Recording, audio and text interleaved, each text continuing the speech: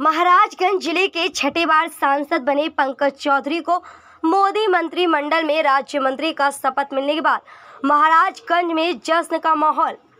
भाजपा कार्यकर्ता ढोल नगाड़े संग अबीर गुलाल खेल।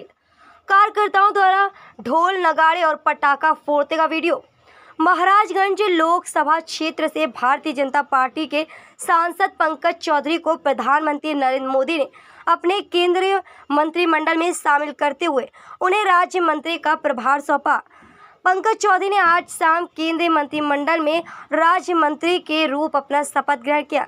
वहीं मंत्रिमंडल में शामिल किए जाने के बाद महाराजगंज लोकसभा क्षेत्र सहित पूर्वांचल के कई इलाकों में जश्न का माहौल दिखाई दिया। पटाखे, फोड़, ढोल, नगाड़ों के साथ एक दूसरे को मिठाइयाँ खिलाकर बीजेपी कार्यकर्ताओं ने मोदी सरकार के समर्थन में जमकर नारेबाजी की। कार्यकर्ताओं का कहना है कि पंकज चौधरी को एक सांसद के रूप में काम करने का लंबा अनुभव है। केंद्रीय मंत्रिमंडल में शामिल किए जाने से पूर्वांचल का विकास तेज़ी के साथ बढ़ेगा। महाराजगंज से छठवीं बार चुने गए बीजेपी सांसद पंकज चौधरी पिछड़े वर्ग के कुर्मी बिरादरी से आते हैं। उन्नीस सौ नवासी में गोरखपुर नगर निगम पार्षद के रूप में अपना राजनैतिक सफ़र शुरू करने वाले पंकज सभी वर्गों और बिरादरी को एक साथ लेकर चलने के लिए जाने जाते हैं। इसी का नतीजा है कि दसवीं लोकसभा चुनाव से लेकर सोलहवीं लोकसभा तक उन्हें सिर्फ़ एक बार तेरहवीं लोकसभा में हार का सामना करना पड़ा था। 2019 में लोकसभा चुनाव में वह छठवीं बार भारी बहुमत से चुनाव जीतकर संसद में पहुँचे थे जिसके बाद से अटकलें लगाई जाने लगी थी कि उन्हें केंद्रीय मंत्रिमंडल में भी शामिल किया जाएगा।